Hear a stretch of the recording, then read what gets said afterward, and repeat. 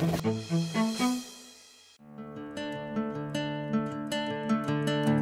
name is Kevin Satterfield, and I am an ESL instructor at Emily Griffith Technical College.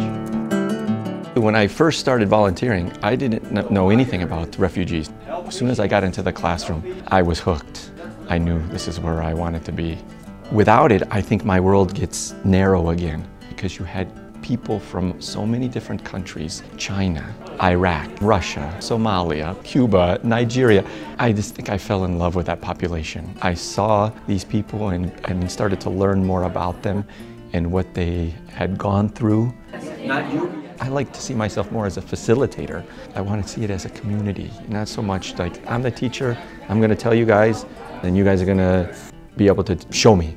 I want them to ask each other.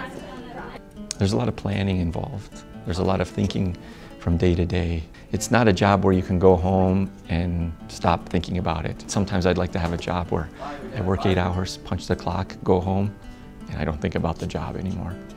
But that's not teaching. I don't need so much the appreciation, but when students come back, when peers ask me questions, when my bosses say, hey, you're doing a good job, and when my son tells his friends, my dad's a teacher, that's what I need.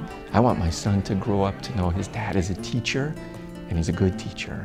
Emily Griffith is a special place and our students are really special. I don't want another job. I love my job so much.